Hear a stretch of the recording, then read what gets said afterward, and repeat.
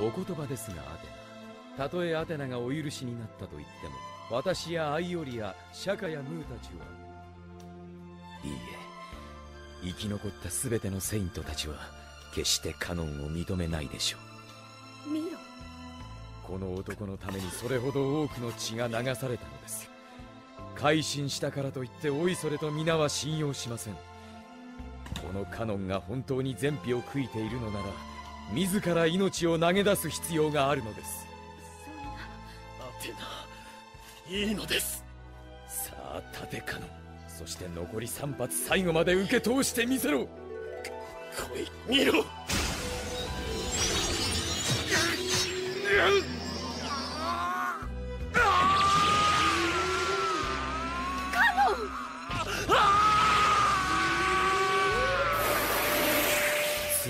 血を吹いたがその出血に伴いやがて意識は薄れ五感も途絶える。だが懺悔のためにはお前は最後の一発をもその身に受けねばならん。このとどめのアンタレスをここまで耐えきれた奴にさえこのアンタレスは決定的な死を与える。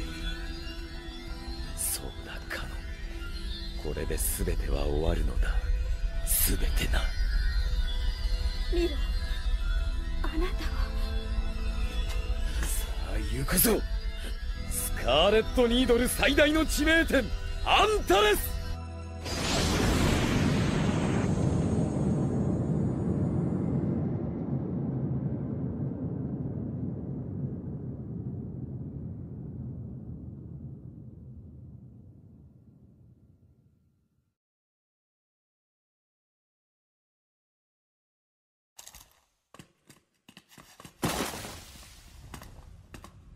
アテナスペクターのコスモが近づいてきているのをひしひしと感じます。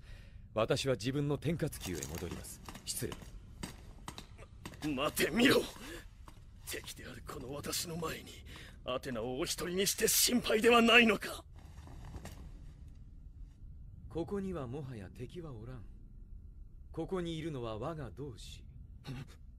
その名もゴールド・セイント。ジェミニのカノンだけよ見ろ。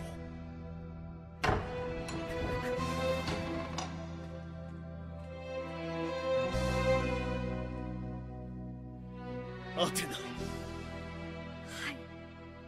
ミロは最後の一発はアンタレスではなく新王天をついてこのカノンの血止めをしてくれたのです。